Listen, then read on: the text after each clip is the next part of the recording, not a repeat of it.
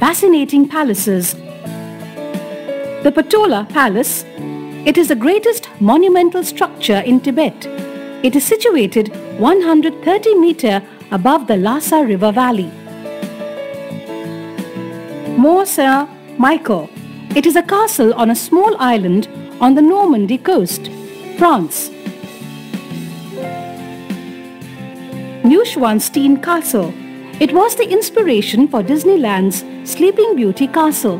It was built by Ludwig II, Bavaria. Matsumoto Castle. It is one of the most fascinating castles in the world.